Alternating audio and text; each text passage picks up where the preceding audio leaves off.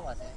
Uh, ये sequence actually जो चल रहा है वो ये है कि uh, मेरा जो बच्ची मेरी जो बच्ची है वो सिर्फ़ दो दिन की है और वो अचानक से मिसिंग है घर में से। तो हम सब लोग पूरे दिन उसको ढूंढ रहे थे कहाँ गई होगी किस तरफ़ गई होगी खो गई कि कहाँ चली गई? मतलब मैं एक माँ हूँ तो मेरी हालत तो एकदम रेस्टलेस है कि मेरी बच्ची कहाँ है?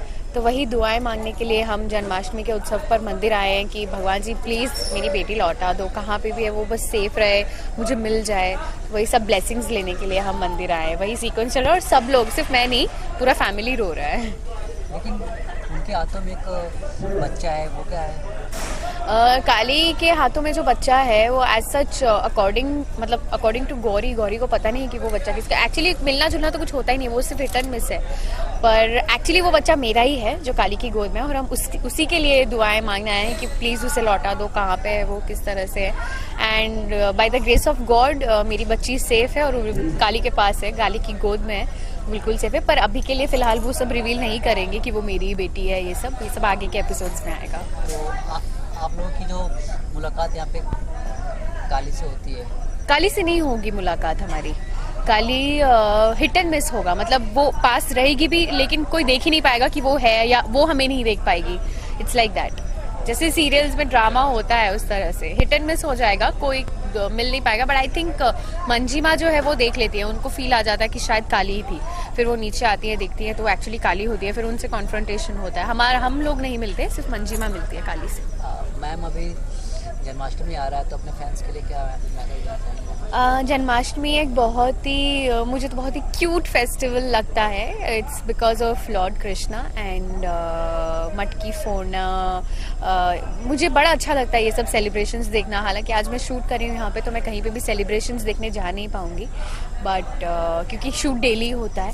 बट आई होप कि आप सब लोग जन्माष्टमी का ये फेस्टिवल एंजॉय करें। भगवान जी की ब्लेसिंग्स लें और हमेशा पॉजिटिव रहें। थैंक यू हम काफ़ी आँसू दिख रहे थे और आपके हाथ में एक बच्चा था और क्यूट सा। आ, मुझे बच्चे बहुत पसंद है स्पेशली क्यूट बच्चे। तो एक्चुअली मुझे पसंद है सिमरन को। कली को ये युग और गौरी का बच्चा है जब वो आत्महत्या करने जाती है तो उसको ये बच्चा मिल जाता है। तो वो एक्चुअली वो राम जी को बोलती है अभी सबने मुझे घर से निकाल दिया कोई मुझसे प्यार नहीं करता। किसी को तो मैं याद भी नहीं हूँ सात महीने हो गए। मंजीमा को भी याद नहीं हूँ।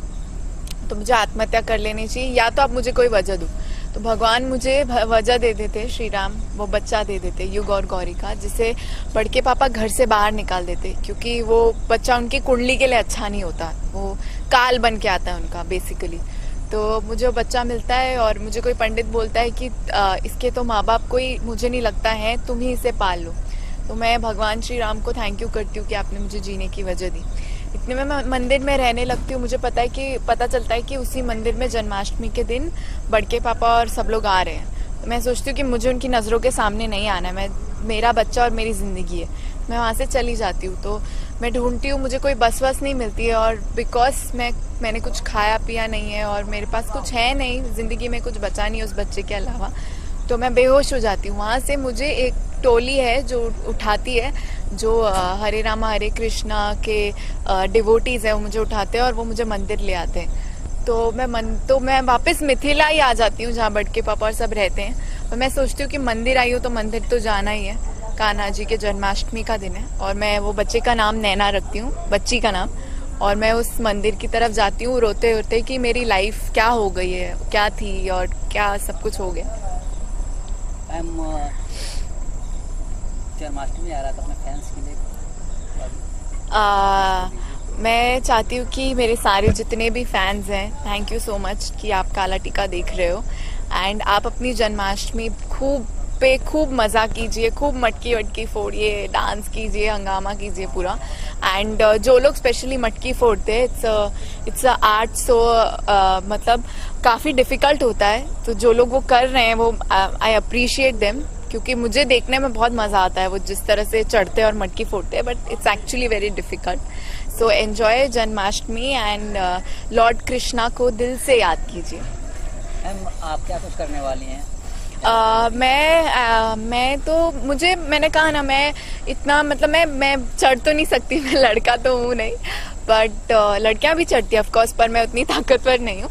मुझे वो सब देखना बहुत अच्छा लगता है बहुत ही एक्साइटिंग होता है मेरे लिए वो नज़ारा कि वो लोग चढ़ रहे फिर गिरते फिर चढ़ते। इट्स वेरी डिफ़िकल्ट बट मुझे बहुत मज़ा आता है वो देखने में कि कब मटकी तोड़ेंगे कब मटकी फूटेगी कब मक्खन दही या दूध निकलेगा।